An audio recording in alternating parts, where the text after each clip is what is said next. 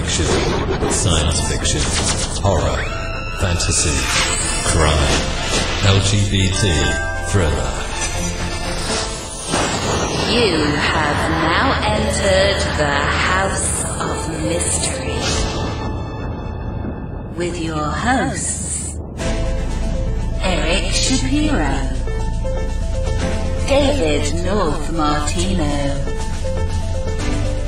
John Copenhaver, and Al Warren. Heard on KCAA 106.5 FM Los Angeles 102.3 FM Riverside. and 1050 AM Palm Springs.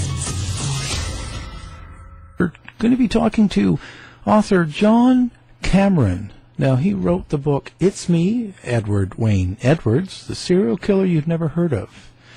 Now, what's really interesting about this is um, uh, he's written the book, and uh, the serial killer is a person that loves to set up people and watch them be convicted of a crime that he did.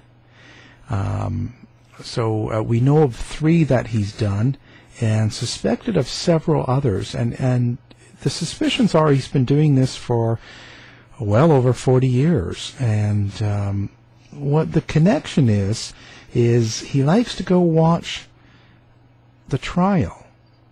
And uh, what is fascinating was that he was caught in um, episode six of the Netflix documentary Making a Murderer about Steven Avery. So it kind of fits what he does. Uh, is it possible that he set up Steve Avery and even the police? Because that's kind of his MO. Very interesting. And of course, it's blown up all over the country. And uh, so we're going to talk to him about the uh, facts in his book and his thoughts. Now, joining us, John Cameron. Um, thank you for taking time to uh, talk to us today. Well, I appreciate you having me out on Al. Um, this is a story I think that really needs to be told, and it seems like slowly but surely it's starting to come out. Yeah, yeah, pretty bizarre. Um, so, so let's let's start kind of let's go back a little bit. Let's start with you. Um, now, your book, um, it's me. Um, it's about Edward Wayne Edwards. So, um, maybe tell people a little bit about him, kind of um, uh, what you wrote about in your book. Yeah, certainly. I never thought I was going to write a book, but in 2010, I was working in Deer Lodge Prison, Montana, as a parole board analyst, and I was a retired police detective for 24 years prior to that. And in 2010, this serial killer named Edward Wayne Edwards got caught in Wisconsin um, for the first time for murder, and he was 76 years old and married and had five children and 11 grandchildren. And while I was working in Deer Lodge Prison, um, I was notified that Mr. Edwards had been in Great Falls, Montana in 1956, and uh, that's where I live is Great Falls, Montana, and that's where I was a police officer. So I had a cold case of a couple parked on a lover's lane in 1956 that had been kidnapped um, and then executed. And it remained unsolved forever until Edward Edwards got caught in Wisconsin in 2010 and confessed to killing a couple on a lover's lane in a similar fashion. And so that began my investigation of Edward Wayne Edwards, and that started in June of 2010. And so, um, how far did you go with that then? So, like, he um, was he ever caught and officially tried of any of those um, crimes? No, what happened with Mr. Edwards is at the age of 76, he finally gets identified as being a serial killer. His daughter actually turned him in after she was watching a cold case and remembered that when she was very young that her father took her to the scene of a double murder. Well, it turns out that that scene of the double murder was the Wisconsin 1980 double murder that he actually confessed to in 2010. And so now he, at the age of 76, he's identified as a serial killer, and they put out a memo to all agencies, and especially to agencies um, that were connected to a book that this man wrote. Edward Edwards wrote a book when he was 39 years old. It was an autobiography on his life. And he claimed that he was a reformed criminal and now that he was a happily married family man. But what it turned out is what he was, was a big con artist. And he used his family, and his wife, and his children as alibis as he traveled the country killing his entire life, basically. And he was married three times. And so when I was able to put him in Great Falls in 1956 at the time of our double murder, I just decided I was going to write him a letter and ask him if he would confess to that murder. And so we could at least tell the, the uh, relatives that he was in prison and that he was actually going to be executed. And so that's how this all began in June of 2010 was by me simply writing Mr. Edwards a letter asking him if he would confess to the Great Falls murder so we could just put it to rest. He was going to die anyway. And that began what ended up becoming a six year long investigation now of a serial killer that started killing when he was 12 years old in 1945 and never stopped until 2009. And his entire MO was to set other people up. And he did it in practically every part of the country, every decade since 1945.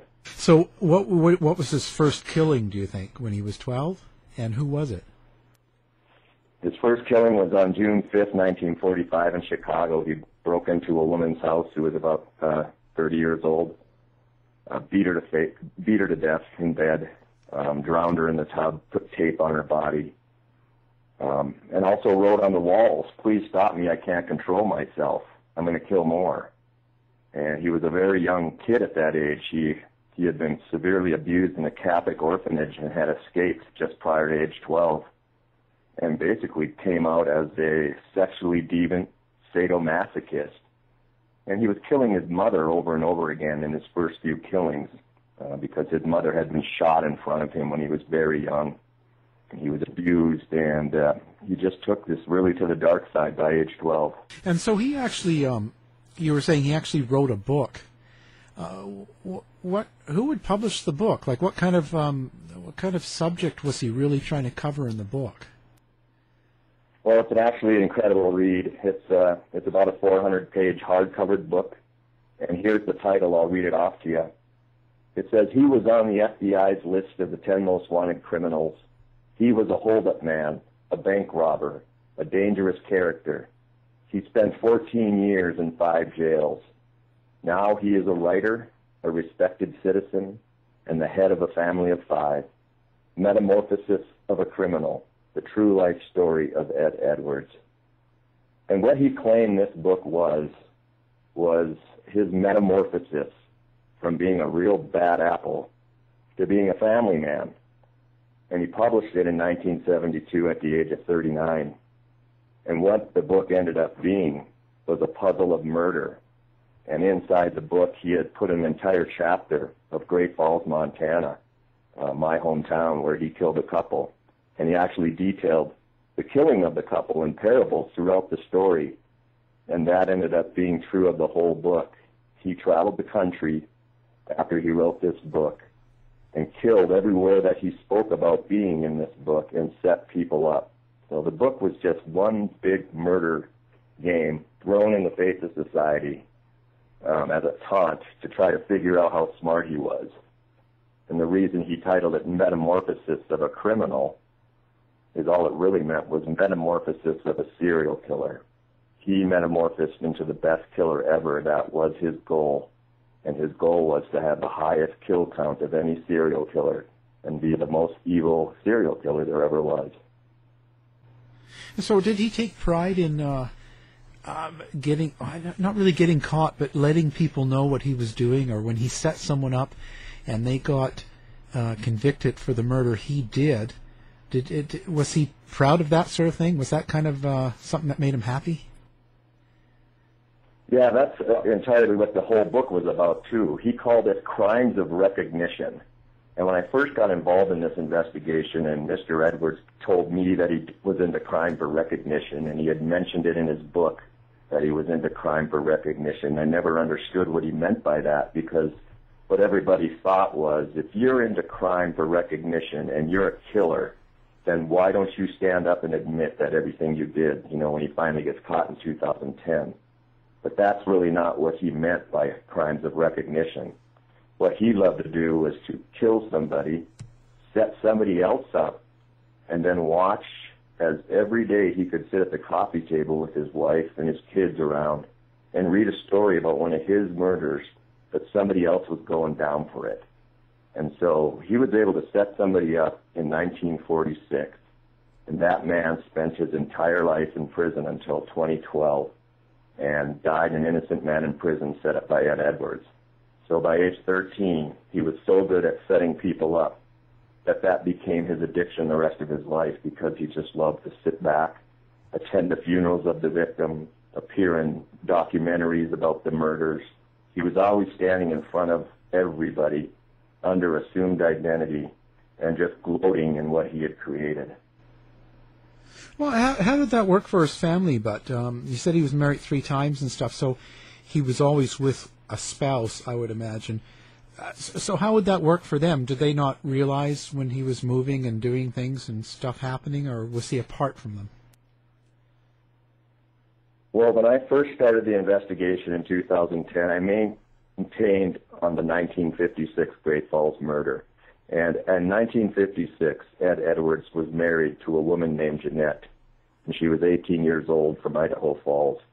He had actually kidnapped her in 1955 and took her all over the country while he killed, portraying himself as a doctor, a doctor of psychiatry, a police officer, and a preacher with a wife who was pregnant. She did never cross him. She dared never to cross him.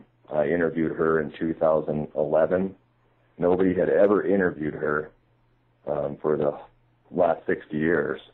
And she never told anybody what had happened during the eight month travel she did with him, 1955 and 56, for fear that uh, he would kill her, because he ended up spending his entire life taunting her with letters and threats that if she ever told anybody, he'd kill her, or he'd kill their son.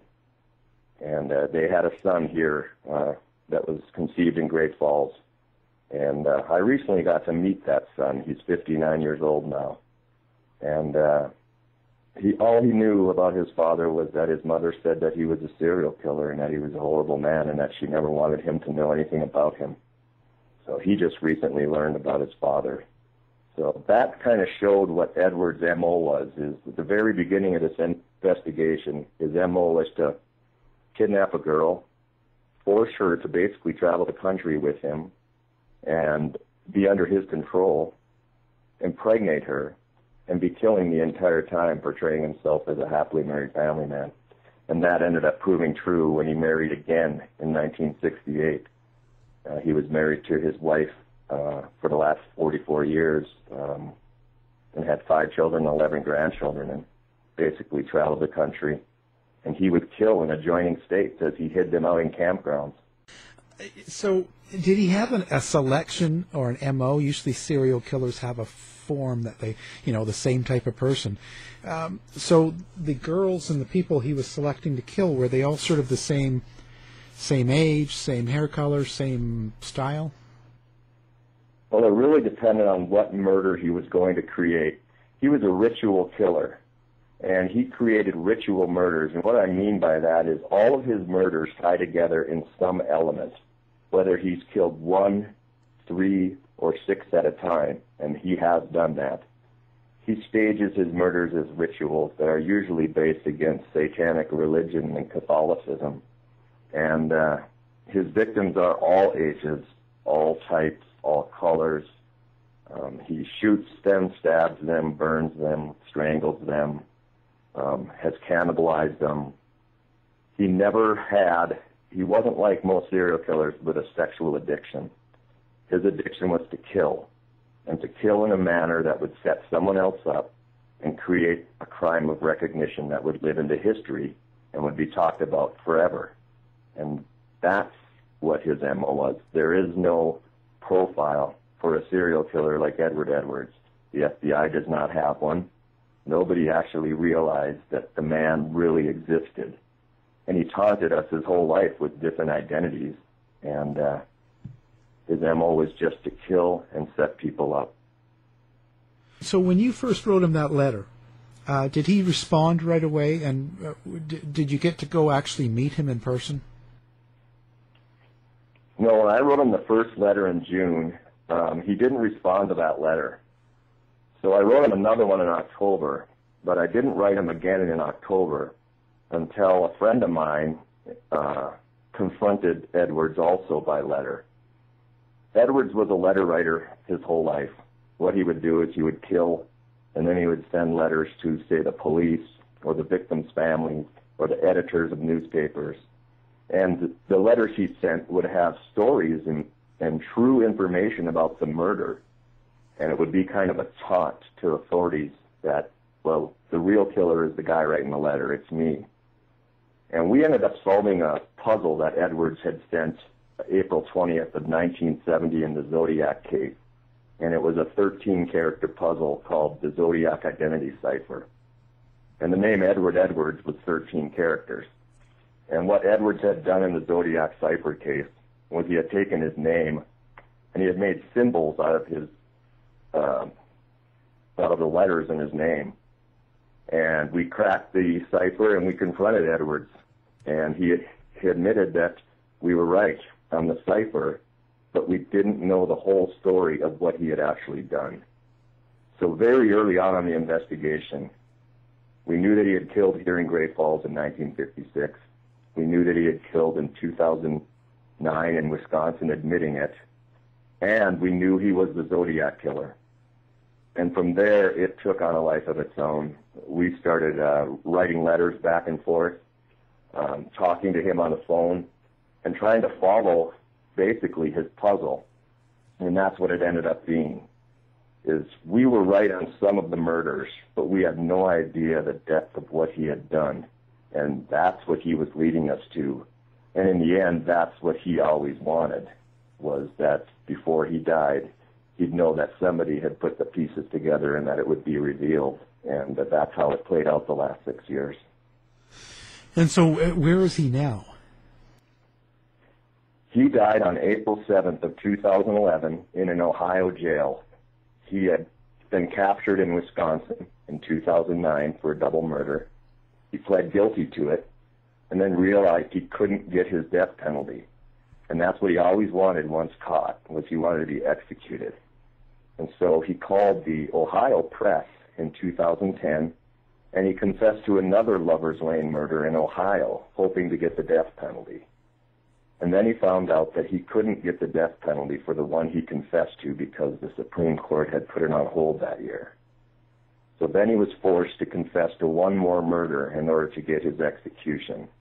And that was the murder of a 25 year old man in Ohio who he had befriended, adopted, changed his name, insured him for $250,000, then kidnapped him, beheaded him, held his body for six months, and then planted his body on Christmas in a cemetery to collect the $250,000.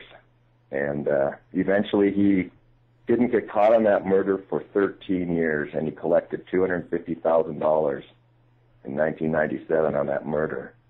And with that money, he traveled the country, killing people and setting people up. And he did it until 2009. Is there anybody popular that he sort of set up or famous? Practically everybody.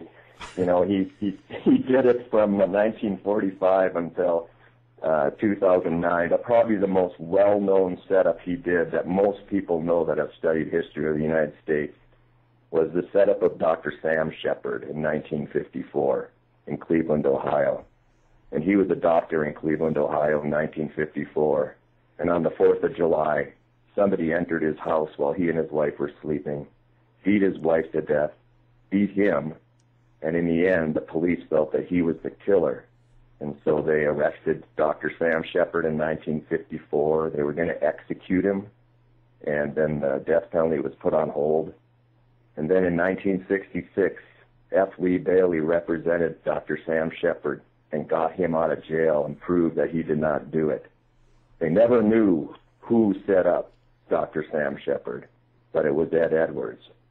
And after Dr. Sam Sheppard was released in 1966, Edwards was released the following year and came out and did the Zodiac killings.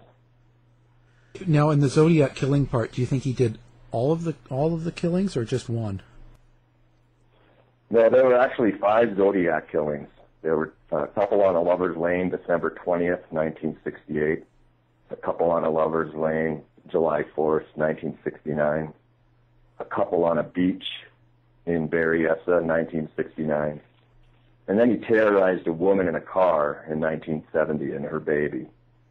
There was a case in 1966 that a lot of people have claimed to be the Zodiac Killer, and I think the name of that was Cheri Jo Bates' case, 1966 in Riverside. But that was not a Zodiac case. Edwards was in prison until uh, September of 1967, and uh, he came out and immediately started killing and creating crimes of recognition all over the country. He had them going on in Michigan and California, Oklahoma, um, and Oregon.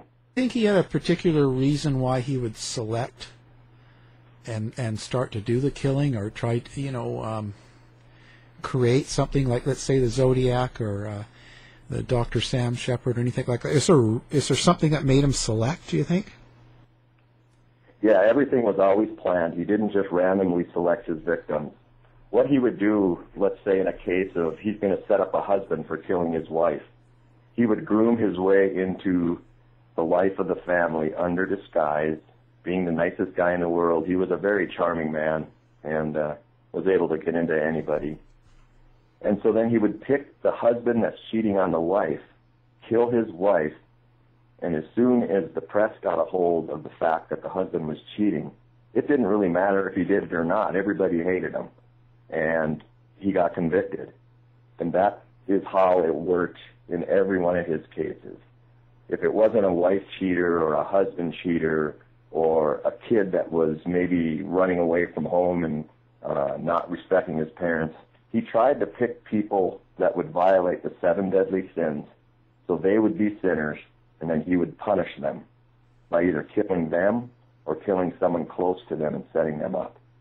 And so he was a ritual killer. It was all based on the occult.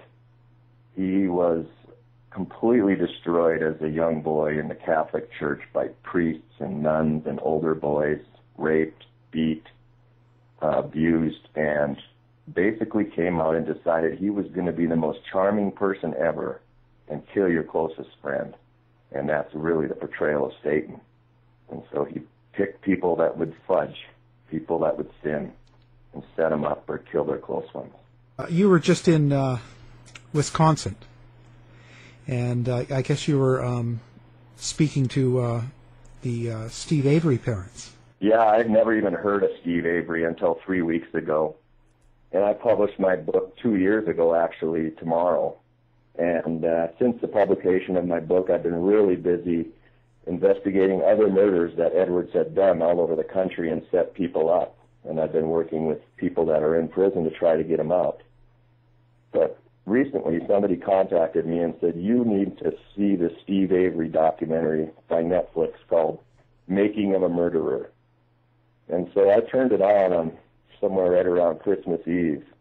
And by the fourth episode, I couldn't believe what I was watching because that that uh, documentary basically shows what Ed Edwards was capable of doing behind the scenes when he set people up on all of his setups, and how officials acted, and how it just created hatred among everybody.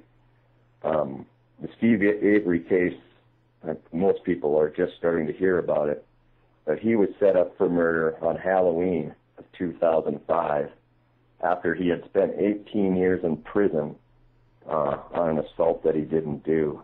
And so just prior to Edwards setting up Steven Avery, Steven Avery was all over the press, and they were making laws in his name in Wisconsin, and he was famous because he had spent 18 years in prison. He was innocent. They were making a law in his name, and Edwards decided to steal his recognition and set him up for murder. And uh, and it was only because of Steve Avery's name, and that is Avery, um, which is part of the Zodiac case. Steve Avery owned Avery Salvage, and lived on Avery Road and was the longest serving convicted man in the public in 2003, 4, and 5. And that's when Edwards decided to target him and set not only him up, but set the police up. Yeah, that's quite the uh, program. I've, I've watched them, and I've interviewed uh, Michael Griesbach, who's the uh, written uh, Innocent Killer. Where where was he when he was uh, in the documentary? Where did you where did you find him? Well, whether or not that's Ed Edwards in the documentary, there's an episode six in the Netflix Making a Murderer, and at uh, 12 minutes and 33 seconds into the video, there is a shot of a man in a blue sweater standing by the door behind the prosecutor, and it lasts about five seconds. And that is the first shot that caught my attention that possibly that could be Ed Edwards. Edwards loved to kill somebody, set someone up, and then attend the trial or attend the funeral, especially if there were cameras. If he could get himself photographed without anybody knowing the real killer was there, he would do it. And so in the making of a murderer shot in episode six, it's just a very strange shot and it fits every aspect of Ed Edwards. I went out to Manitowoc last week and visited with the Avery family and tried to visit with the Manitowoc County Sheriff's Office and been trying to identify that man in the video to see if anybody knew him that attended the trial. I haven't been able to find anybody yet. How what was the reaction when you went there? Like how how how did the uh, sheriff's office um, respond to you? Well, that was interesting. I thought for sure if I I tried to call for a week straight after I watched the documentary and realized that Ed Edwards was the culprit. Um, I called and left messages, but nobody would return my calls. So I really just hopped in my car and drove 1,400 miles to Wisconsin and showed up at the Manitowoc County Sheriff's Office last Tuesday and tried to speak to somebody. They wouldn't accept my book. They wouldn't accept my information, and they didn't want to hear it. Um, that's how it, that's how it went. But that's how this has always gone regarding Ed Edwards, because Ed Edwards was an informant his whole life. He knew police officers everywhere. He was friends with police officers everywhere. And uh, once he got identified in 2010 as a serial killer, there were police officers everywhere that recognized him and went, "Oh, geez, it's him." And that's who he was. He was that man that knew them all, but they didn't know he was a serial killer. And so, and how were the uh, Avery family with you? They were awesome. I I pulled into the salvage yard and I spoke with Dolores and Alan and uh, Charles and Earl and Brenda. Um, I sat inside the salvage uh, office there. You know, the prosecutor in the uh, making of a murderer kept saying, "How could somebody get Steven Avery's DNA implanted?" That salvage yard office had more DNA of the Averys in it. It would be easy to get anybody's DNA out the Avery family. You know, it's a salvage yard. You cut your fingers daily. Your hands are completely dirty. You got rags laying around that your bloody hands are on. That's how Edwards got the DNA of Steve Avery. It was as simple as grooming his way into the salvage yard. At the time, he was 73 years old. He would be just been almost the same age as Steve Avery's parents. He would have been harmless. They wouldn't even have known what he was up to. And uh, just to get a little bit of blood and the sweat DNA is as simple as a T-shirt of Steve Avery's that he wore, and you got your DNA to plant. And so the prosecutors made it sound like it would be impossible to do because nobody wanted to believe that somebody would do this. But that's exactly what Edwards did his whole life, is what happened in that documentary. Yeah. How do you think that he did it? Do you have a scenario? Yeah, it was Steven Avery was released 9/11 of 2003, and uh, that's a very important time because just shortly after Steve Avery was released from prison after serving 18 years, the police arrested him, two innocent men, for one of Edwards' Halloween murders, 2001, in Columbia, Missouri. On Halloween in 2001, uh, Edwards killed an editor of a major newspaper in the parking lot. And then two years later, two innocent men, Ryan Ferguson and Charles Erickson, went down for the murder and Charles Erickson confessed just like Brendan Dassey did, and it was a false confession. But all this occurred just after Steve Avery was released from prison. And then another Halloween murder of Ed Edwards uh, ended up in a wrongful conviction, and that was the 1975 murder of Martha Moxley. And in 2003, right around the time Steve Avery was released, Michael Skakel lost all of his appeals. He was arrested and was spending his life in prison for that murder. He's since been released. Ryan Ferguson has since been released. Both these Halloween murders were committed by Ed Edwards.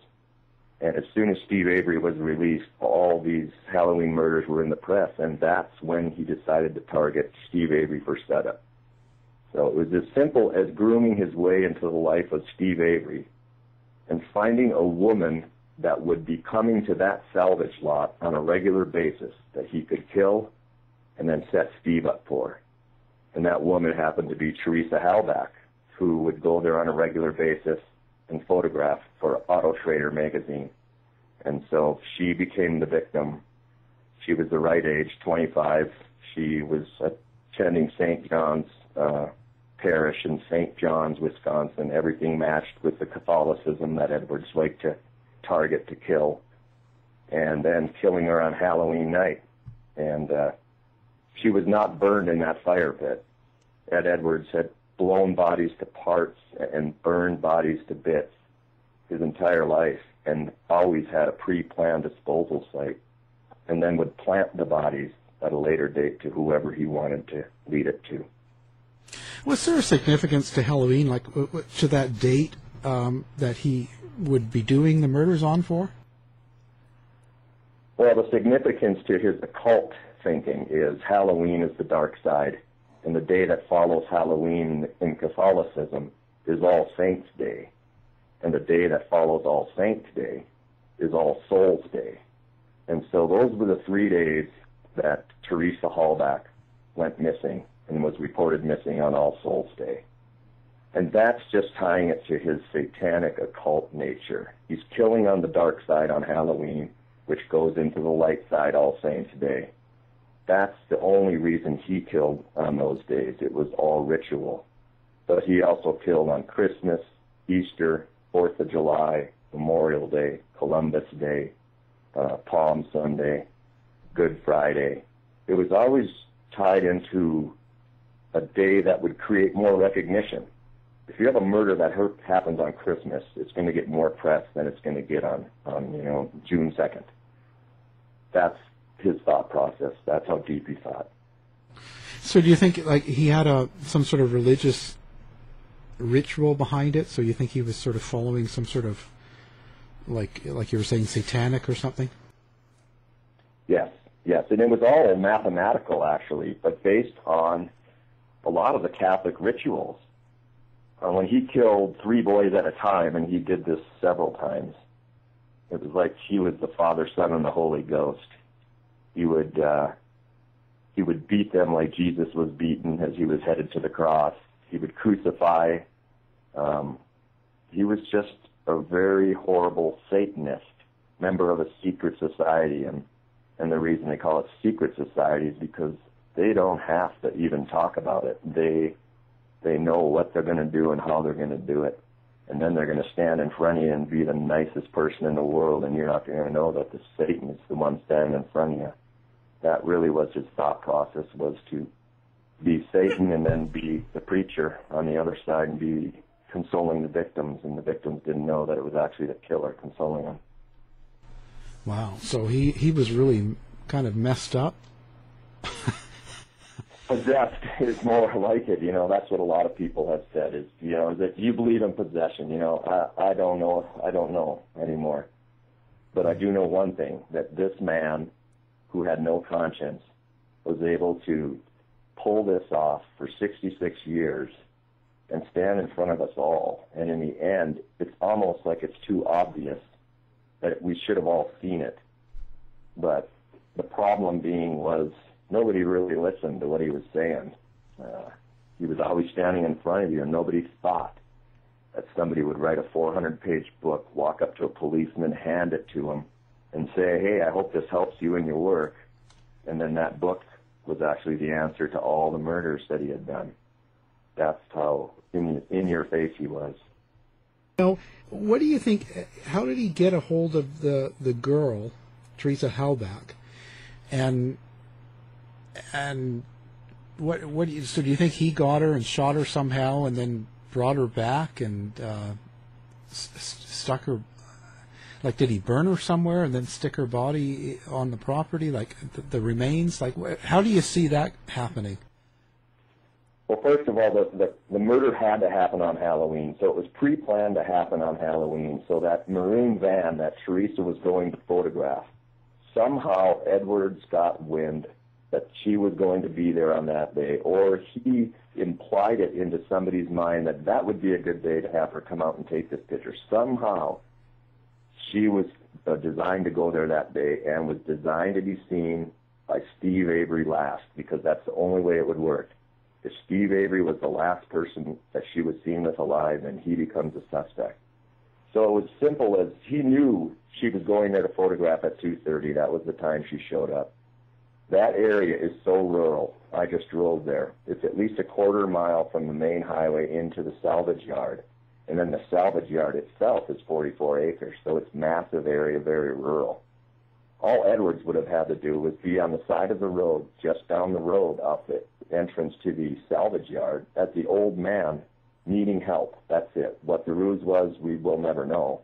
But it would be as simple as just an old man flagging you down and say, hey, I need help. Teresa was shot in the left temple, and she was also shot in the back of the head. Well, she was the driver, then that's exactly how he would have done it. He would have walked up to the driver's window with a 22, popped one in the head, and a 22 does not go through for the most part. It goes into the brain and zips around and kills you instantly. Doesn't bleed much. Push her in and drive away. She wasn't reported missing for three days, so she had three. He had three days with that vehicle and her, and nobody even knew she was gone. And then on the fourth day, the Avery family went to their cabin. They left town and went to the cabin. The only one there was Earl, and that's the day that he plants the car, the bones in the fire pit, the bones in the barrel, the cell phone in the barrel. Everything he planted there, Edwards had done exactly like that in 1955 before he came to Great Falls and killed here. He had done a murder exactly like Teresa Halbach in California in 1955. So that's how it went down. It was that simple. Um, he knew that Steve that Steve Avery would be having a big bonfire because it was Halloween night.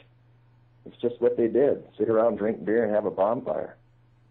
Um, that body was blown to bits by a bomb, and Edwards detailed how he makes his bombs.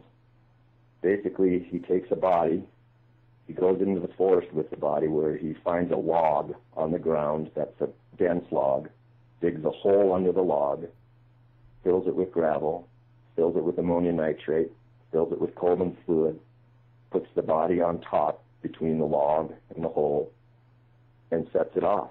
It blows the body to bits, and that's what he did to a body in 1960 in Portland, Oregon. And then he just collected the remains and he threw it in the fire pit. And uh, that Terry Halbach's remains fit in a very small box. That's all that was left. They were sharded. She was blown to bits by Edwards' bomb, which he actually described in the Zodiac case making. He details it in the Zodiac letter how to make it. So he must have had access. Do you think it would have been easy for um, him to get? Because they're saying that she was shot in the head, but with a gun from Steve Avery's, uh, what was hanging over his bed. Yeah, that whole gun uh, issue is kind of interesting because they didn't find the slug until March of 2006. Yeah. and you know, and so right there tells you what happened there. Did you know? Did he shoot him with Steve Avery's gun? Because the slug would have been inside Teresa Halbach. It would have been inside of her head, and Edwards would have collected it. And Edwards was a civil and a civil patrol expert. He groomed his way into uh, searches for his own victims, and in the case of Teresa Halbach, on the day of the 5th, the people that searched for Teresa Halbach's car and walked directly to it were part of just a volunteer search group at St. John's Church, over a hundred people. And that's what Edwards would have groomed his way into. And he steered them to go right to the car as they went to go search, and they found it just like that. And uh, the lady that actually found the car said that God led her to the car, Yeah. and she had a, she, she had attended the church just before finding it, and I'm sure God did lead her to the car, but it wasn't God. Yeah. It was Ed Edwards, and it was as simple as suggestion. You know, you're sitting around in a group in the church, you got your friend missing, you're going to go search, and you go directly to Avery Salvage on your own, find the car in 10 minutes, and boom, you have a crime of recognition. So they were all led there, and then the police show up. See, how, and of course the police don't want to hear any of that because they, they, they want it to be done with. Well, you know, it's a shame that the police don't want to hear it now because, in a way, uh, Ed Edwards actually gives them kind of a break. They come across really bad in that documentary, and they did some things that are horrible. The the confession of Brandon Dassey is is horrible and should have never been taken. It was clear that it was forged and that it wasn't proper. But the planting of the uh, keys in the house later on, and the blood in the car, and the and the DNA on the hood latch, that was all done by a serial killer that was designing it to make the cops look like they were doing it because the cops were all over the press too just before the murder.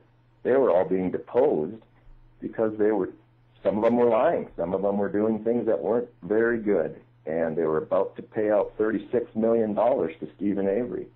And so part of the plan was just not to set Steve Avery up, but to set the cops up too. And that's what he did in all of his cases. It was always about making the cops look like fools. Just just crazy. Uh, did, did did you talk to the family, uh, the Avery family, about kind of your your thought on the on the killing, um, about Edward Wayne Edwards, and and did they respond to that? Yeah, I did, and actually, it was a great talk. And then the next day, they they got a call from Kathleen Zellner, um, the famous attorney out of Chicago, who's now going to represent Steve Avery. And uh, Kathleen Zellner is in my book on page 392 because she represented Ryan Ferguson and Charles and Charles Erickson. She didn't represent Charles Erickson; she represented Ryan Ferguson, excuse me, and got him out on one of Edwards' murders on Halloween. So it was really good to see that Kathleen Zellner hopped in uh, the day after I left because I really think they're going to take it and run with it, and uh, and we'll get him out. Do you, do you- do you really think that'll happen, or do you think that uh, he he's it's really he's really up against a wall this time? Yeah, that they all are. You know what's amazing about Steve Avery is he is just one of over a dozen men sitting in prison right now on Ed Edwards' murders that are in the exact same position. They're just not getting all the recognition like Steve Avery is right now. But um, I think it's changed. The, the uh, Netflix documentary "Making of a Murderer" has exposed what really goes on behind the scenes in the justice system, and it was a great thing to finally see because it was almost like six years of my work and putting out a book, and then all of a sudden there it all is in a documentary in real life. I couldn't believe what I was watching. That is what happens behind the system. It becomes a system of ego against ego, lawyer against lawyer, instead of truth. And that's what happened to Brandon Dassey and Steve Avery. They got caught in the middle of some ego fighting and a horrible serial killer that nobody wanted to acknowledge existed. Yeah, yeah, it's it's really unfortunate. What do you what do you think? Um, so you watched the um, series, of course, on Netflix. Um, do you think they did a pretty good job? You know, I've heard a lot of comments that it was slanted towards the towards the defense, but you know, the defense is the only one that allowed cameras. The prosecution didn't, so it would be slightly slanted. But there was nothing in there that I saw that slanted it towards the defense. I felt that the way the police and the prosecutors produced this case, they should have just stopped and said something isn't right. They all knew that something wasn't right. It doesn't make sense that you're going to kill a woman and then bury her body next to your bedroom window and hide her phone in a barrel next to a car you own and you know do all this stuff to try to kill somebody and get away with it and then plant all the evidence to lead to you. That just doesn't happen. What happens is it was planted. The problem the police have is they were the ones that were being accused of being the planted. they were the ones doing all this stuff, but they weren't. But the killer was inside them. He would have known somebody inside Manitowoc County. Probably not as Ed Edwards, probably as Wayne, but uh, somebody in Manitowoc uh, knew Wayne Edwards. Yeah, and the, and the police should have never had the uh, Manitowoc County um, doing the investigation because you can't have the same people you're deposing um, for a wrongful trial before um, investigating them now. No, that's law enforcement 101. When I was a police sergeant here in Great Falls, if our sheriff's office got in some trouble and we were stepped in, they stayed out of it. That's what you do. Or the state would come in, we stayed out of it. Um, what went on there was classically what goes on in an Ed Edwards setup murder because he's always in the background stirring the evidence to lead you to a little more evidence, to a little more evidence. And that's kind of how it played out with Steve Avery. You know, four months into after they arrested him, they don't really have a case against him because it doesn't make any sense. There's no blood in his bedroom. It just doesn't make sense. And then they get Brendan Dassey to confess to killing her by rope, by knife, by gun, and by fire. Yeah. And that's what Ed Edwards does. And uh, I would bet that there's an anonymous letter that arrived at the sheriff's office sometime between Halloween of 2005 and the time Brandon Dassey confessed that was written by Ed Edwards that's going to be anonymous and is going to describe exactly how she was killed, tied to the bed, stabbed, burned, and it's just going to be a big parable from the serial killer himself. That's what he did in all of his killing. Yeah, yeah, it was just crazy. Though everything from the beginning to the end. Why do you think people are so outraged by it now? Just because of uh, they didn't realize what went on in in the in the justice system, or? Yeah, that's exactly what I'm hearing. Um, you know, I've been I've been saying this for six years ever since I started this thing with Ed Edwards and wrote this book that that wrongful convictions happen a lot and the system isn't quite as good as we all think. And then to see it play out in 10 episodes, most people that I've uh, spoke to can't even stop watching it. They turn it on at night and they just watch it until they hit the 10th episode because it was that uh, revealing and maddening. That's what they say. They're furious that that's what our officials that we're paying money to do the right thing are doing. And uh, we've gone backwards. Yeah, it was certainly human flawed, and and it was, um, you know, you're right. Now, Dassey should have never been convicted on that kind of a confession. That was just coerced and a low IQ. He wasn't a very smart boy. You know, when I was a police officer, I got a confession in 1992 from a man who was 30 years old who had a low IQ. And I knew he didn't commit the murder, but he confessed to the murder, and I could have easily just kind of said, well, I'm taking you down. But but it was clearly it's easy to manipulate people in an interview, especially if you're a police officer and you have your uh, subject in a room where he's not free to go, and uh, it's very easy to do. And if you cross the line and you don't keep your mind open to what the evidence is, uh, then you end up convicting innocent people. And you can see throughout Brendan Dassey's interview that he is so confused and everything that they're saying is just being put right into his head. And uh, he just agrees with them because they're the, they're the authority. Yeah. Yeah, well, he was scared and he didn't know what to say. He didn't know the meaning of half the words. Um, uh, it was just silly. And then, then his defender didn't defend him, sent, sent him in. The investigators just were trying to get a confession. Um, it was wrong. I would say that when I, when I watched the part where uh, Brandon Dassey confesses to his own investigator, to his defense investigator, I couldn't believe what I was watching because that man is supposed to represent Brendan Dassey, and he was in Brendan's face more than the police were, demanding that he just confess and write it down and show. And he just he just forced him to do it. It was his own investigator and his own attorney. That alone should dismiss that case. That kid should have been out years ago. Um, it's disgusting. People are just watch that.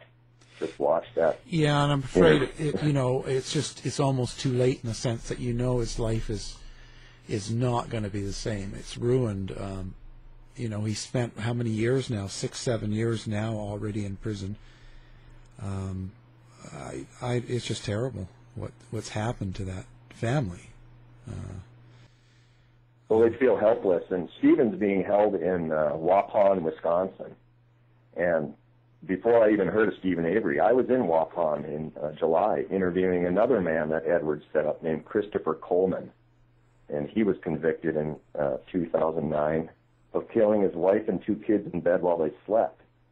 And uh, Edwards just targeted him to set up because he could, and he was cheating on his wife.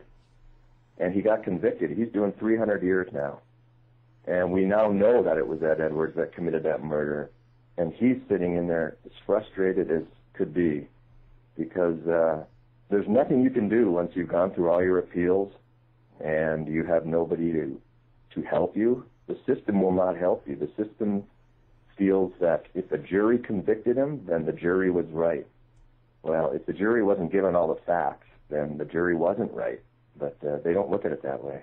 Yeah, yeah, yeah, and I think that kind of shows it if people watch that um, making the mur- make a murderer because, uh, it, yeah, and I think that's probably what upsets people. So, so where do you see yourself um, going now? Like, wh- what's your plans um, for the uh, future here? Well, you know, this whole thing has just been one uh, roller coaster ride after the other. I kind of thought I had reached the climax of it when I found the May 5th, nine, uh, 2009 triple murder in Columbia, Illinois, where Christopher Coleman went down for that murder. I thought, you know, well, that's kind of the crescendo. I didn't have that murder in my book, and after I published the book, that murder came forward, and that was another Ed Edwards murder, and it was last murder before he got caught. And uh, then all of a sudden, the Steve Avery case comes along. So my, my guess is this is never going to end because we know how many Ed Edwards killed between 1945 and 1996. And he announced his count, and that count was 500 people. And that 500 people not only includes the people he killed, but also includes the people he set up and the system killed. But he was free until 2009, 13 more years. So if you went on his averages, he killed 630 people, and out of the percentages, one quarter usually went down in a wrongful conviction, or the person that was accused killed themselves, or was driven to death by the killer himself. So I was able to find, I think I'm probably around three dozen to 50 uh, wrongful convictions. Out of those, I I could name seven of them that are in right now that uh, that are spending their life in prison that I've spoke to. Um, it's horrible. He he killed every waking moment of his life. Even uh, if he could walk into a church with his family and walk out and kill somebody and then hop in the car and drive away with his family, he would. Um, it was all about creating terror. So obviously he was like sociopath. He had no feelings toward killing people. Obviously. You know, he produced a uh, religious motivational album in 1970. um, yeah, he was 37 years old, and you can listen to it on my website, coldcasecameron.com. It's right on the homepage. It's incredible. It's 30 minutes of a serial killer telling you how he groomed his way into religious organizations and killed. And uh, it's interesting to hear his voice because you get to hear the Zodiac killer's voice in the year that he announced himself. And uh, he put this stuff out there because he was the Zodiac and he always wanted to be caught, but he wanted to be identified. It was always about his identity. And that's because he, his real name isn't Edward Edwards. His real name is Charles Edward Meyer. And at age five, his mother was shot in front of him. And his name was changed to Edward Edwards and he was put in a Catholic orphanage raped, beaten, and abused, and became a monster. And so then he teased everybody for six decades with his identity. Who am I? And that's why he wrote the identity cipher in the Zodiac cases. He said, if you uh, if you crack this cipher, you're going to know who I am. And and we did in 2010. And when we confronted him, he confirmed it in a letter that started out, "It's me." And so it was just an incredible ride investigating Ed Edwards, and it's not going to end.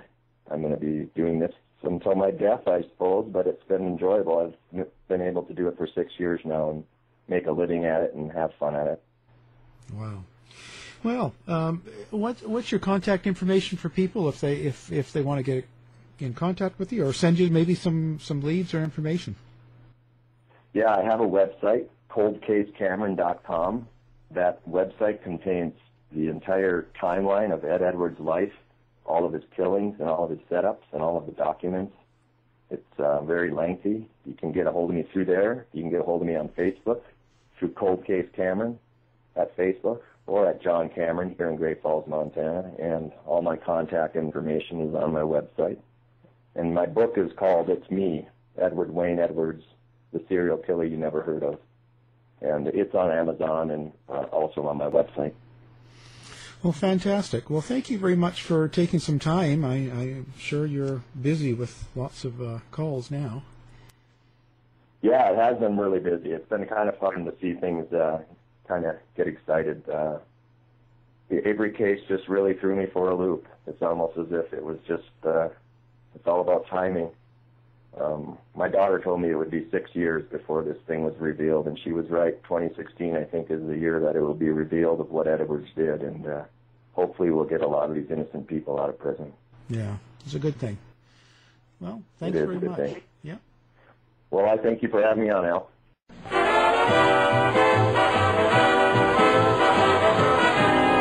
The mission has been completed. The end. By George, he's got it. It is the end. I'll see you.